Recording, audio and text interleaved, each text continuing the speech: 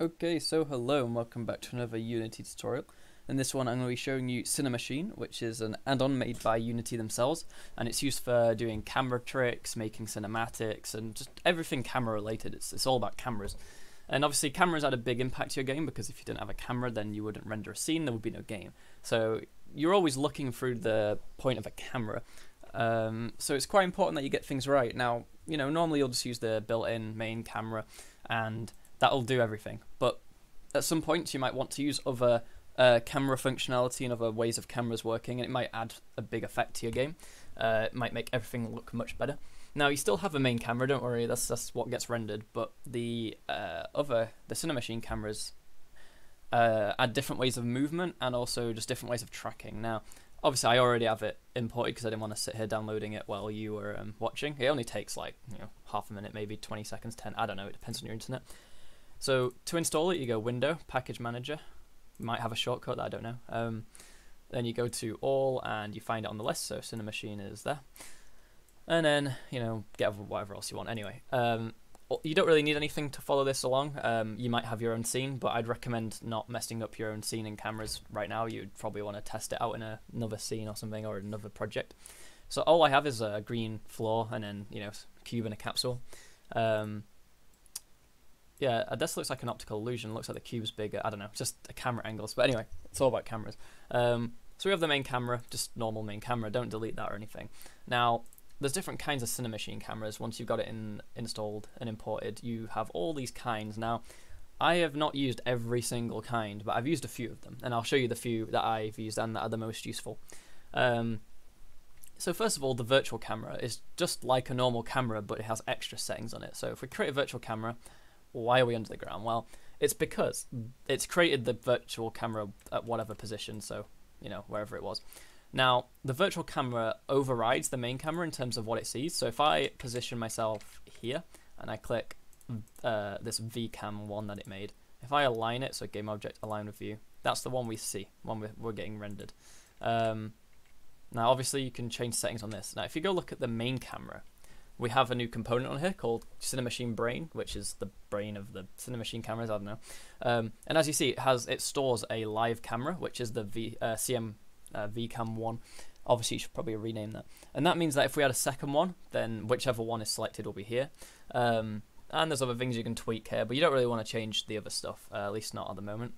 Um, and I'm going to actually just move it again. So line of view. Now, one thing you'll notice is the main camera, wherever it is in your scene. So it's here. It's actually at the same place as the virtual camera, and you can't, you physically can't move its constraints. It is locked to the same as the VC, uh, the VCam. So whatever effect the virtual camera does, the main camera follows it. So it's quite a nice way of basically adding effects to the main camera by doing it on this. Because uh, obviously this isn't a camera, it's a virtual camera. So it's got its own settings on the right, as you see and if you didn't change any of these, it'd basically act as a normal camera as far as I'm aware. Um, but we can add other things like damping and um, following and stuff like that. So one of the most useful things is, let's say you had a game maybe where at one point you switch to a viewpoint through a camera or through someone else. Uh, and that thing could be moving or it could be static. Now let's say it's static, like it's a, it's a spy camera or something. Let's say you have a room and it's got one of those um, security boards with like loads of monitors watching different parts. You could have these um, cameras everywhere, or you can have it like this. So on the follow and look at transforms, let's make the look at transform be the player. There we go. Now as you see, the rotation updated on its own, because how it works now is the rotation of this camera is completely dependent on the position of the player. If we move the player, it rotates so that the center of um, the center of the camera's view is the player. So if I go look at the VC cam and click on game, you actually see what it's doing. So here's the screen basically, and these boxes you can change. Uh, I'll show you in a minute. Um, the yellow little dot is where it's looking at, and since that is locked to the center, it means that wherever the center of the player is or whatever transform it's got on the right, it will have that in the center of the screen no matter what, regardless of how fast it moves or anything. It's gonna it's gonna have it there. So if we click on like player, and we grab the X and we zip it along. Like it, it will always be in the center no matter what. Now, that's kind of like how a default camera works. It just looks forwards and, you know, it will always look forwards if you rotate the object, yeah. But how this works is, if we're, we're looking at the player, let's say we want it to follow the player but smoothly. We don't want it to just you know lock to them. We want it to kind of drag behind a bit. You can add what's called a dead zone and damping. So by default, the uh, dead zone width and height is zero. Now, as you see, if you tweak that, it adds these lines, and they make up a little box in the center. And what this box means is, um, oh, let's not change that just yet. So this box in the middle with the dead zone means that while this yellow dot is inside this dead zone, the camera will not rotate. But as soon as that yellow uh, dot gets to the edge of this, it will start uh, rotating to fit the player in. So if we press play now, we've got this little dead zone here. If we take the player, I don't have any movement script, but if we take the player and move him, as you see, it doesn't doesn't move. But as we start to get out of like the box, if we go back onto here, as we try and get out, you'll see. Let's like actually lock this, get the player, um, and what I'll do is I'll undock this. So as you see right now, as the um, player moves in this area, everything is absolutely fine. But as soon as it gets to the edge, everything tries to update. Now, how it works is the middle box means it can move freely. The blue box is where it actually rotates to try and get to the player, but it's it, the the yellow line is allowed to be in this blue box. But the further it is to the edge of the blue box, the faster it rotates. And then the red box is a no-go zone. It basically means if the yellow dot is ever here, we just instantly rotate this. If you, you physically can't get out of that into the red box, you can't get out of the blue one. Now, you can affect, uh, you can control damping. So if we, um, you see here, there's dead zone. Now that, that dead zone is the only thing you visually see change on here as far as I'm aware. But if you change, um, obviously that's just positioning. So as I, as you see, if I change the uh, view of that, it actually does push the camera rotation so that the yellow dot is always inside. Um, so that's useful.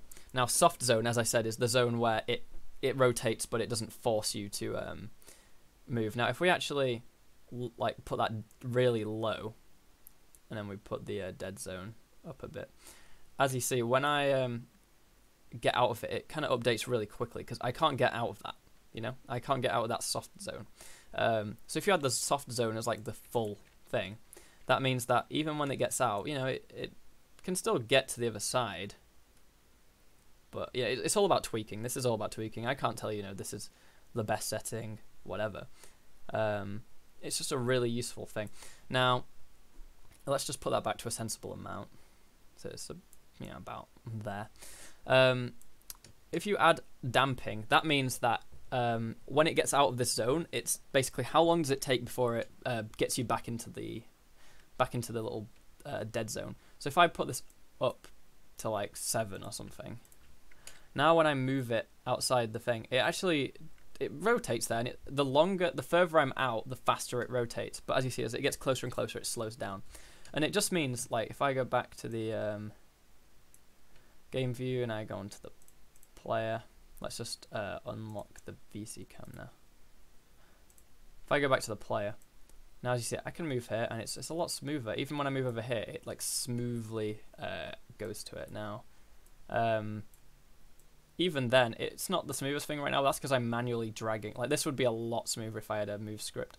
But as you see, it works, and as I go under, it flips. Now you might not want that, but um, you get the point. It smoothly makes the um, player be in the thing. So the the player is always uh, where is it? is always in that in this blue box, but it tries to always rotate so that it's in the middle box. So this is all about you uh, tweaking with settings to get the camera look that you want. But this is this is such a useful camera script to use. Um, so I'd very recommend I'd recommend highly using the virtual camera. Now let's say in your scene you've got the camera there. Let's say I want uh, one here. I want a virtual camera,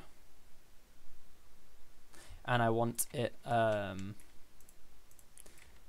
let's say here. Um, so let's uh, align with you.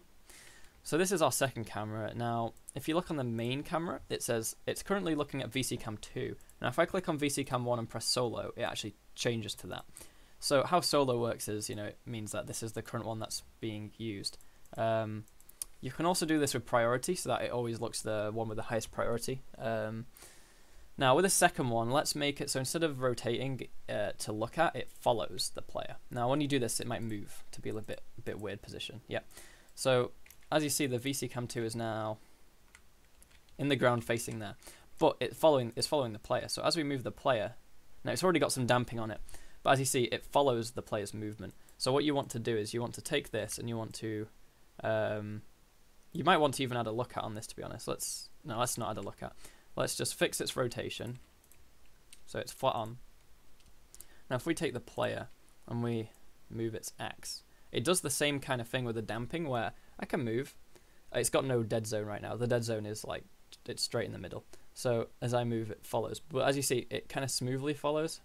Um, now, if I've got this active, if I lock, um, how should I do this? I'll, I'll unparent this again. So if I go to the VC cam one, if I press solo, um, it instantly like goes to it.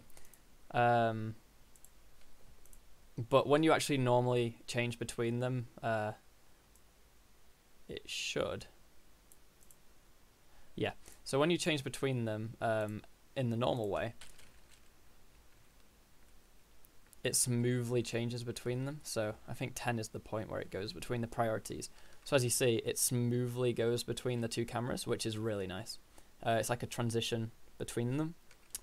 So this camera obviously is the one that's looking at the player and when they move, it does that. And then we say, um, now let's go bring this up to 11. Wait, was it this one? Sorry, this bring this one up to 12. Then it changes to this one, which just rotates to face the player. So you can very easily in in code change priorities to change which camera is being used, or you can uh, I feel like if you change the solo thing, it, it doesn't do the transition; it just changes it, which doesn't look as nice. Um, but yeah, with the with this, uh, there's no aim for the follow, but there's a body which is to do with offset and damping. So if you change the damping up here to be massive, means that when the player moves, it takes ages for it to um, actually rotate, and also it rotates a lot smoother. So that's that's a lot nicer if you want a smooth look. But anyway, as I said, this tutorial is just showing you the what does what, and it's up to you to tweak the settings to get it to work well for you and look good in your game. Uh, but I assure you, just using this in your game anyway will make it look much better, and I hope it does. Um, let's delete these virtual cameras now. We're going to try some other cameras. So if we go to Cinemachine, uh, there are a few more. Now, I'll show you the dolly track one, I guess. Um, I don't really know which ones to show. Uh, free look is quite interesting. Um, so I haven't actually used everything on here before. How about I don't do that one and I do the one I actually know. So if I go to the dolly camera of track, it's quite interesting. So let's put the uh, thingy back. So scene view. This is used for making cinematics. I mean, it's not limited to that, but it's it's best for that in my opinion. So as you see here, we have a um, a camera and then a track. Now, where's the track? There is the track. It's in the ground. So if we bring that all up, Oops. Okay, so we've got a track, which is quite literally like a train track, um, and it's got waypoints. So If we click add, you see we get a second part. When we click add, we get a third part. Now, this uh, bends, so if we add a third, the next part, um, we can curve it around. Now, what this does is it basically makes the camera follow um, let me just make a track quickly. So we'll add a bit more, and then we'll say, you know, come over here, and we'll add one more. We'll wrap it around here, for example. Now, what we can say is for this uh, camera that is linked with the track, um, which is just a virtual camera, but it's uh, linked with the dolly track, we can tell it to um, look at, play it. Now, you don't want to do move because it follows the track. Now, if we um, go to the dolly track, I'm trying to think, is there a play button in here? I, when I used to use this, I, I, there's a new version, so it's not the same as when I used it. Um, we're actually in play mode right now, so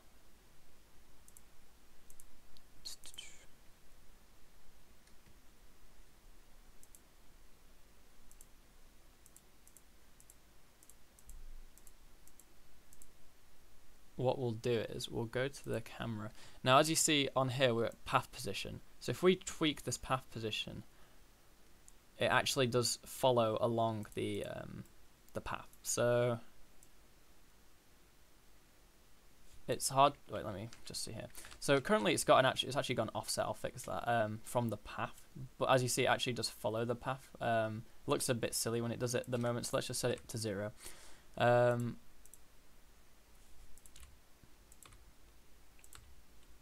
there we go. So now, as we do this, we actually follow along that path. Now, all you'll want to do is you'll want to set this um, path position uh, smoothly increasing. You can do it in an animator. You can do it in the animator um, to like, smoothly get from one bit to the other. And as you see, so where's our thing? We're currently looking at the player all the time. Now this track is not the smoothest track. It's not the nicest. Um,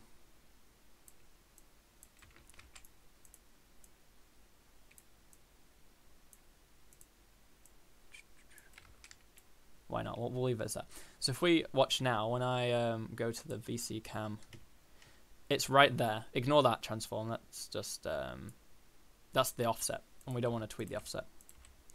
Um, well, what you can actually do is you can put that position to the start of the track if you wanted to, just to make it a bit nicer, and then you can um, reset whatever you want to do. You set this to zero when you start, and then as you move along path position, the camera, while rotating, actually follows along the track. Obviously, it can't go off the end. And it's up to you how fast it actually transitions. Um, and obviously, yeah, you can add damping as well. Um, damping is not necessary oh, is not advised if you're actually wanting it to follow the um, track properly. But if you want it to like smoothly do the track, then you know it's much better to do it this way. It looks a lot nicer actually. Um, so this is the start position, and maybe you want it to like do this, and it's damp. Uh, it's got damping, and it just looks much better. And same with the aim, you can um, do the thing that we did earlier, where you add a dead zone, and ignore the damping. Uh, ig not ignore. Uh, increase the damping. Let's say we turn off all damping now on the path. It still damps to the player's position, but the problem is, um, it just looks a bit silly to be honest uh, on this. I think, in my opinion, you should actually just have damping on this and probably no damping on here. Oh, that's not the damping. Oops. Um, dead zone. I'd say have the dead zone on them, but then have the track damping. I think that looks better. Um, I'm not sure how good that actually looks while the player's moving at the same time. Also, it all depends on how fast you move the track position, but I think it just looks really nice. Like you can do so many cool camera effects with this, and I hope the people that watch this video, you guys, uh, do go away and try this in some way to implement it in your game because it's it's a good tool and obviously it's in the package manager but some people don't even know about it. So I thought it'd be a good idea to make a video on this and those are the two like main cameras that you're going to use and the, the most important and the best ones. Um, there are plenty more that I haven't actually used that much so I thought I'd only do a tutorial on the ones that I do know about. Um, so if you do want more tutorials in Cinemachine I'll be sure to go back uh, go away and learn the other uh, features the other cameras but I hope this video, it's, it's gotten long enough anyway, so I hope uh, this helped you. And I um, obviously, quick rundown, you go to uh, Window, Package Manager, Cinemachine, then you create your cameras from here and you set it all up like I did in the video. So I hope this helps. I hope you like the video. If you do, then obviously leave a like and subscribe. It would mean a lot. Uh, join our Discord server if you haven't already. Um, but apart from that, thanks for watching and goodbye.